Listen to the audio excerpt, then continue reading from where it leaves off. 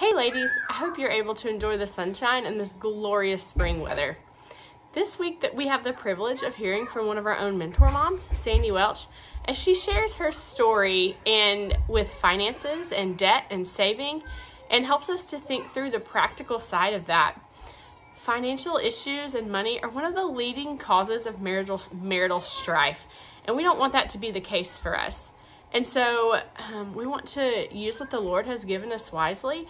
And so Sandi helps us to think through all of those practical things like budgeting, saving, borrowing, insurance, um, just all of those practical things. So I hope that as you listen and as you talk with your group this week, and this will be a way to help strengthen your marriage um, and not something that is causing strife. And so I hope that these practical tips are really helpful for you guys. Hey, ladies. Erica asked me to talk to you this week on the topic of finances. Now, I know that I did the same thing last year, but what happened was when it was my week to do the topic, I think we got shut down in lockdown like right before that. And so, what we ended up doing was a Facebook Live, and a lot of you hopped on and were asking questions. And so, what I'm going to attempt to do is go over some of the things that I went over last year, but kind of incorporate some of the things that you had questions about. And hopefully, this will be something that's very informative for you.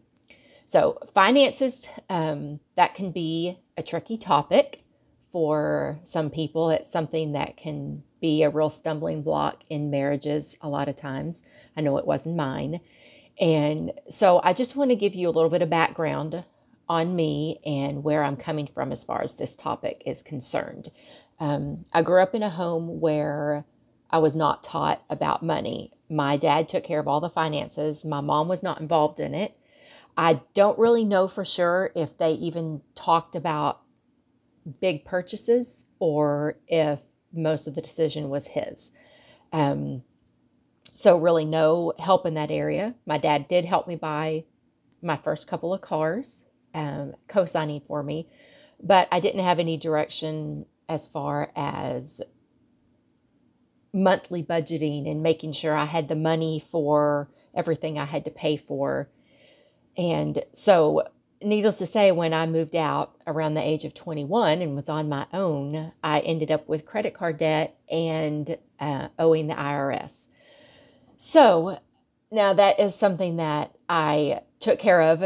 And by the time I was married, I think those issues were pretty much over with. Um, my husband did a really great job with college and working a lot and not taking on a lot of debt for that. So he did have a little bit of college debt when we got married, but we paid it off I think within the first couple of years, maybe even within the first year, um, because there just wasn't a lot to it.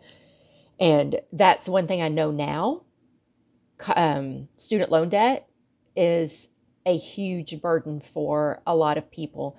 The costs have, they're just, they've grown exponentially over what it was when I was college age and my husband was college age so many years ago. So, um, when we got married, he was the budgeting person and I was not. he tried to get me involved, and it was something that I was just so resistant to. And I think a lot of that was just immaturity, not having ever had to deal with it before. And he uh, is almost five years older than me. So he was out of college. He was going to seminary at the time. He'd been on his own for a while. And so he'd had like a lot of years to work on this and learn budgeting. And another factor in it was that his parents had filed for bankruptcy twice. And that was something that he did not ever want to happen to him. So it's something that he really felt very strongly about. So he he tried to get me involved in budgeting. He would sit down with me and show me his spreadsheet and how he worked it all. And I just, I was very uncooperative. I wasn't interested in it at all. And it's something that I regret a lot now. Um, I know that we would be a lot further along if I had been involved and really cared about it in the beginning of our marriage. So we, um, he pastored a church in Texas for 10 years and we lived in the parsonage. So during that time, we didn't pay rent. Um, he was not making a whole lot. He was bivocational. He, so he had an outside full time job plus the church. But we had uh, three children while he was, you know, in ministry and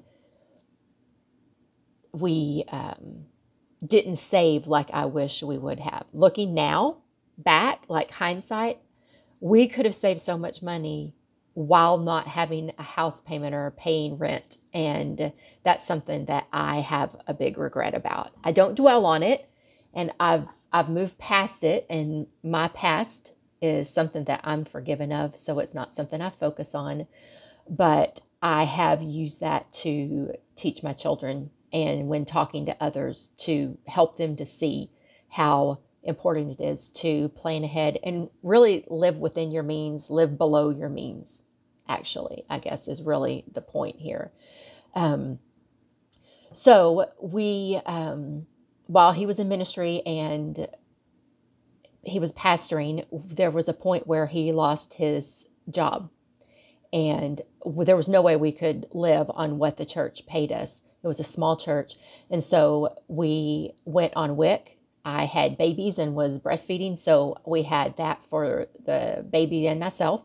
And so my two youngest children um, were on Medicaid and during this time. And I, I, don't know where we would have been without it. It was such a blessing to us at the time and um, helped us to be able to get the health care we needed for our children and so that's that's something that I went through that I know a lot of people, if they were to just look at me now, that wouldn't be something that they would probably suspect. And I don't think that's ever anything to be ashamed of. When you need the help, take the help that you can get. And um, so it helped us for a few years until my husband got a better job. And um, we were able to save for a house and we moved uh, into our own home. It was the first home we had bought, and this was like 2007. And um, during this time with small babies and children, my parents had moved out of state, and I was isolated from friends with having moved to where he was pastoring, and and I used shopping as a coping mechanism, and um, so I, I mean, it was, I think it was an addiction. I was addicted to shopping. It made me feel better. And um, so it really came to a point in 2008 after we had bought our first house that we couldn't pay the bills anymore. And he was getting calls at work, which just horrified me that that was happening. And so we both realized that there had to be changes. And so we uh, started following uh, Dave Ramsey I don't know if you've heard of him. I know there are lots of programs to follow out there. Um, so I'm not saying that, oh, I recommend this and this is the only one, but it worked very well for us and it helped us to get out of debt. And with uh, credit card debt and vehicle debt, I think we had about 35,000 in debt. And so we took two and a half years. That's what it took to get past that and to get out of that debt. And we still had our mortgage. Um, but one of the things we did right with the house is when we first bought was buying, we didn't buy more house than we could afford. And so we weren't foreclosed on. We never missed a house payment. And that was just such a blessing that at least we did that right. Um, and so it's something that we have done every time we've moved is made sure that we did not buy more house than we could handle. And the loan from the bank, like they'll give you more than what you should probably take. And so that's, we just set a budget for ourselves with what we were comfortable with for our family and have stuck with it. Um, so that's kind of the background on on our financial situation and kind of how it started and what led us to want to live a debt free life. And so it's now been, I think this year in February, we hit the 10 year mark. So it's been 10 years since we first started working on getting out of debt and started um, just changing our lifestyle and the way we lived. And um, so when we moved here, um, we were tempted to look at houses that were more than we were really comfortable with just because we wanted a certain type of house. I wanted these certain things. And the more we thought about it and prayed about it, we knew that we just couldn't do it, that we had to stick with our, um, like our plan, our budgeting plan, and what we had set out for ourselves to be able to keep living the way that we were living. And so we ended up buying a house here that was, um, it was a foreclosure. It needed work. It was very dirty when we moved in. And that was really hard for me. But I'm very thankful that we stuck to our guns and did it because when we sold it, between um, we got a very good deal on it, obviously, because it was a foreclosure. And so, between the work we put into it and the increased value, we had over a $100,000 worth of equity in that house when we sold it. And so, that was a huge blessing to our family. And it took sacrifice. And finances take sacrifice. There's things that we have to make decisions about, like what's important to us, what are our goals. And, um, so, those are the kinds of things you have to think about when it comes to finances. And sometimes people are not on the same page, like my husband and I were not in the beginning. And a lot of times you have one spouse who is the spender and one who is not. And um, I've like gone like really far the other way. So I have to be really careful about it sometimes because I will just not spend money. And even if it's something I need, like bras, um, sometimes it's just hard. And I think it's because I I want so much not to go back to the way I was before that sometimes it's easy to go too far the opposite direction. But um, so that can be hard sometimes. But um, we've learned about budgeting and what works for our family. Um, and really having a budget is like the number one thing. And there are a lot of budgeting apps out there. I know there's mint.com, there's um, youneedabudget.com, which I have used. I've also used Every Dollar, and I'm sure there are more out there that I haven't mentioned. But really, what works for me the best is putting it all down on paper. Now, I will use online versions like to plan things out, and like I'll I'll plan things out, like put all of the expenses I know are coming in a month where I can just see it at a glance. But I keep like daily, weekly logs on paper because that's just how it works best for me. And then I can see it at a glance. I remember it really well if I've written it down. Um, but budgeting is key and um, sticking to the budget. Like once you make the budget, you have to stick to it.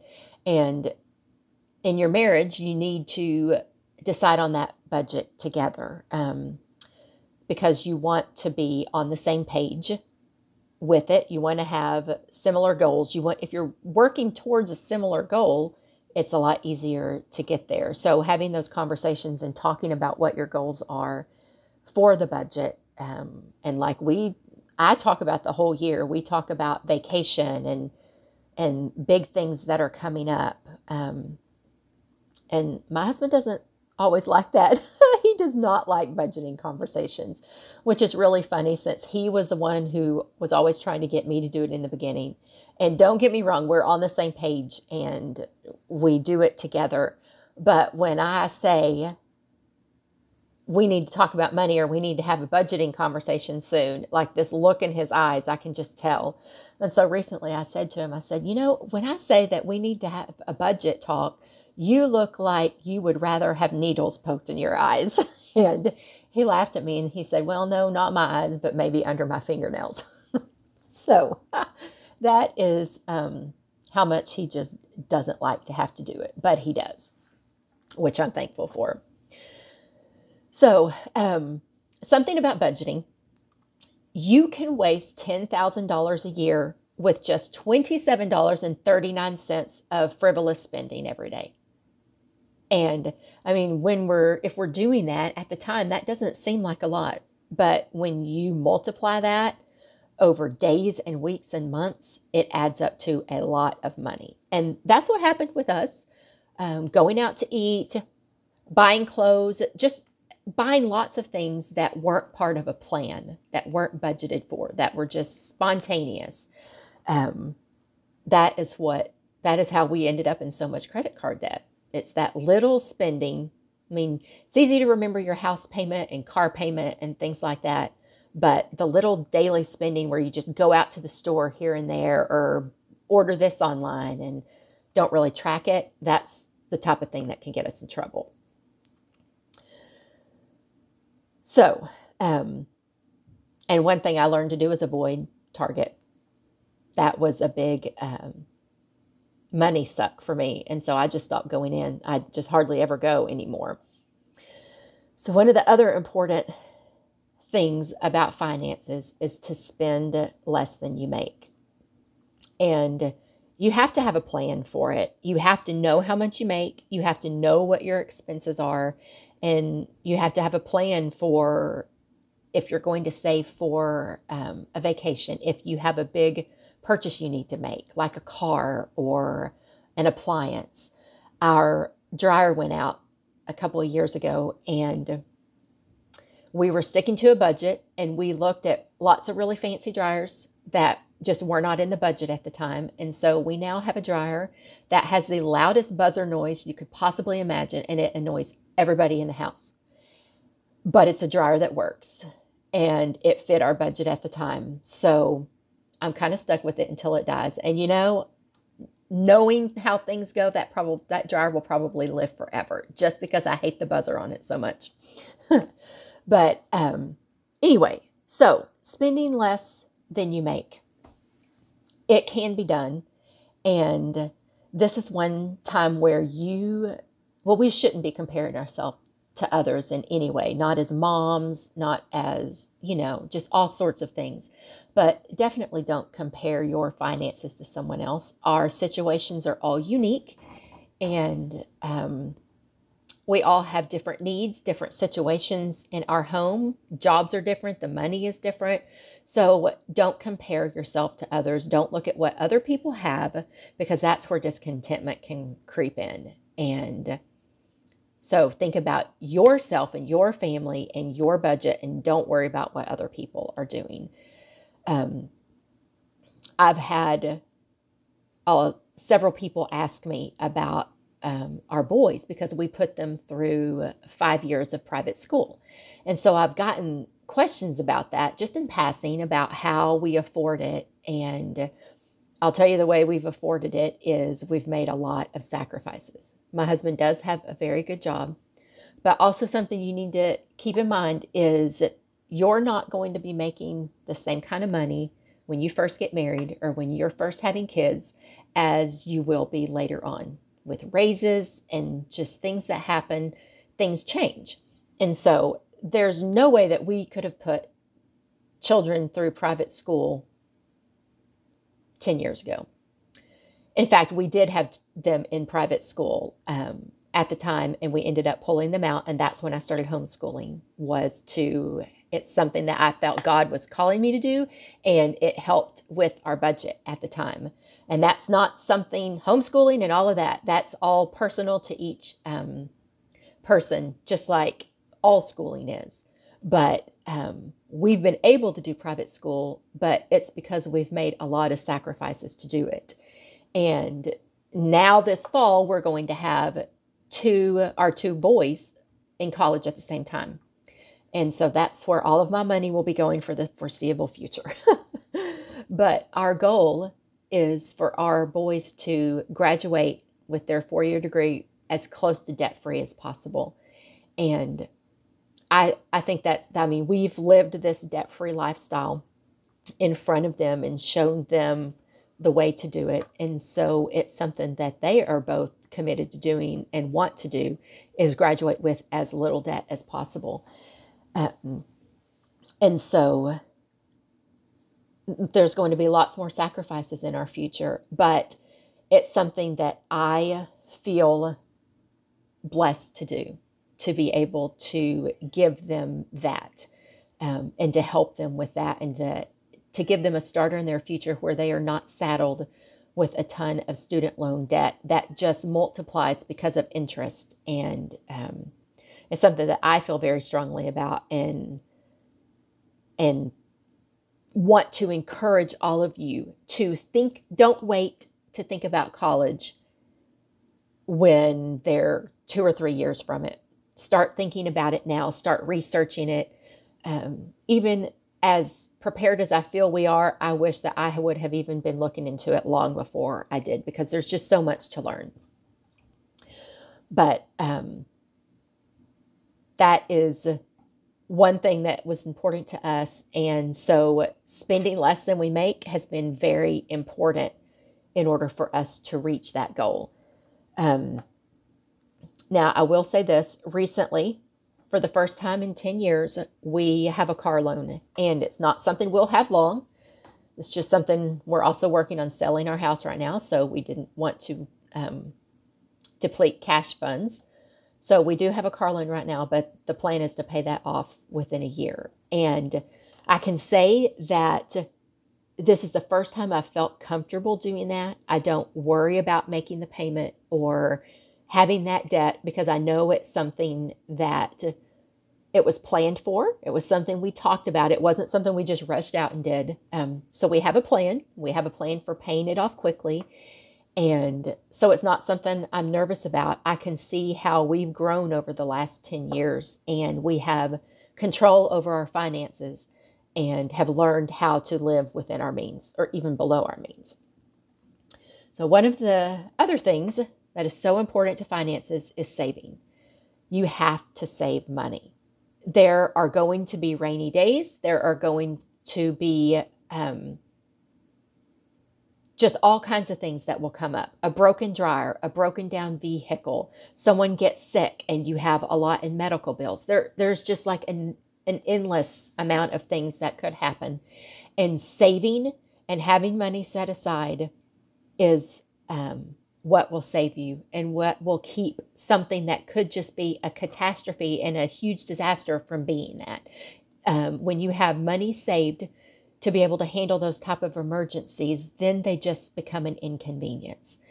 And inconveniences are a whole lot easier to deal with than catastrophes as far as that's concerned. Like for some people, a dryer breaking, that's a major catastrophe um, because sometimes there's just, you don't have the money to fix the dryer or you don't have the money to replace it our uh, refrigerator quit working recently. And as much as I hated the thought of us having to go and replace it without putting it on credit, I knew that we could. And that was a very freeing feeling to know that if we had to do it, we could.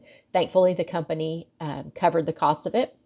So we didn't have to worry about that. But it's peace of mind knowing that you can handle situations like that when they come up. And we were able to go and buy a mini refrigerator to use for the week that we had to wait for the repair. And that was another thing that was a blessing um, is being able to do that because that's not something that everyone can just go out and do. But we've been able to do it because we've spent the last 10 years planning and working um, towards financial freedom. So, saving. It is so important. And 10 years ago, we worked with a $1,000 savings. But honestly, if you can get more than that, 1500 2000 that's even better, I think, now because things cost so much. Like emergencies can be expensive. So, um, but I think that's something you talk with your husband about or and you decide on an amount that you're comfortable with based on your family's circumstances and the emergencies that could come up for you. Um, and then after saving, one of the big things is plan for the future. And I've already kind of touched on this where I mentioned college. But one of uh, the big things that you need if you do not have it, and that is life insurance. It is so, so, so important. I cannot stress this enough. And I know so many young couples say, we can't afford it. And I would say you can't afford to not have it. Um, my husband had his best friend from college died of a heart attack suddenly in August of 2019. Um, it was just completely out of the blue. And his wife, it was the second husband she had lost to a heart attack. So she was a widow for the second time. And it was just so heartbreaking to watch that um, and everything unfold with that. And my husband's um, best friend, like just since college, that him and his wife are how my husband and I got together. We were very good friends and did all kinds of stuff together um, before my husband and I ever even went on our first date. And so we found out recently that Scott, that's his name, has lung cancer that has spread to his brain, his spine, his liver, his spleen, um, and I think a few other places that I've forgotten.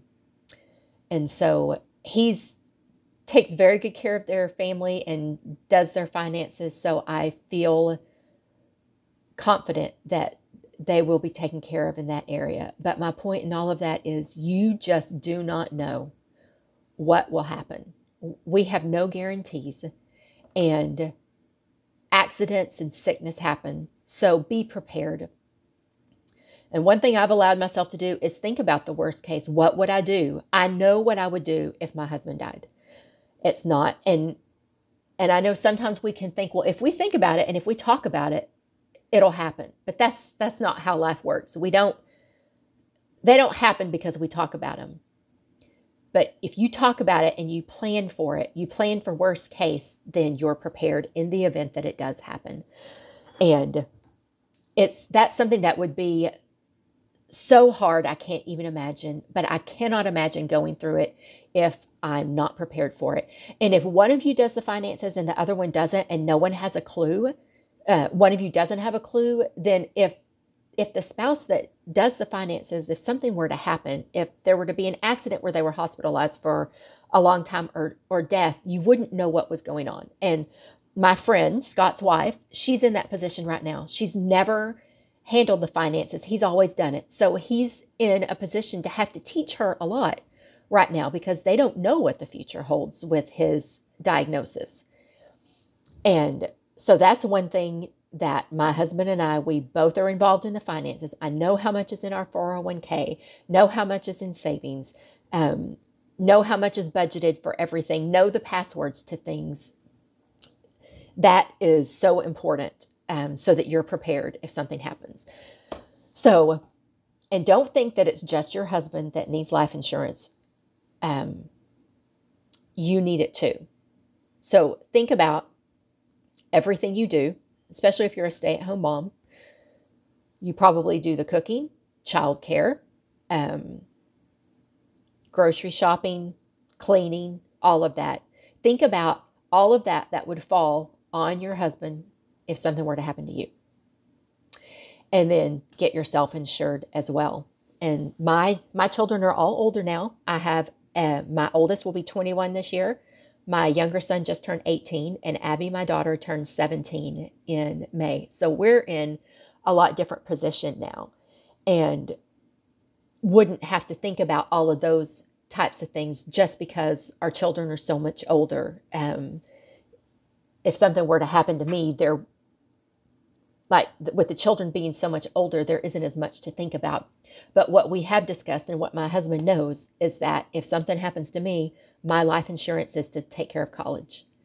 And um, so we've planned this out. We've talked about it, and it isn't fun conversation, but we've done it, and it makes me feel secure knowing what would happen if the worst were to happen. We have life insurance on our children, and for like the younger you are before you have any pre-existing conditions life insurance is not that expensive. Um, so we have it on our children as well. And my husband also has disability insurance. There is no end to the types of insurances you can have. Um, just look and see what is needed for your family. And um, but i strongly strongly recommend life insurance for you and your husband and i said the same thing last year and I really, and I know there were a lot of questions about it. Um, so hopefully I've kind of explained it a little better this year, just the reasoning for it and why it's so important. Um, you just you want to be prepared, and I another thing about budgeting and, and finances and getting our finances in order is we I don't want our children to have to worry about us.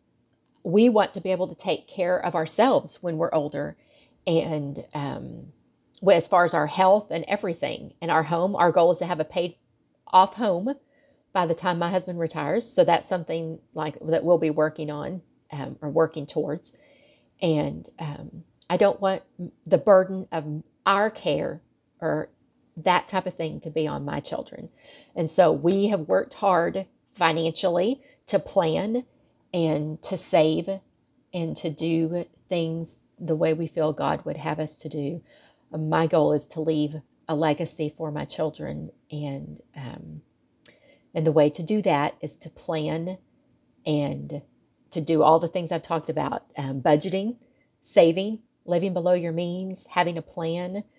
So I want to encourage all of you, whatever your financial situation is in your marriage, whatever is going on, um, to sit down and have a conversation with your husband, talk to him, and if there's things that you want to do different or you think would benefit your family to do better, better budgeting, any of it, have that conversation and um, and talk about it and plan so that you can be prepared for the future as your children grow, that you can be prepared for emergencies and anything that might come your way. I hope um, this was helpful to you, ladies, and that you have a great week. Thank you.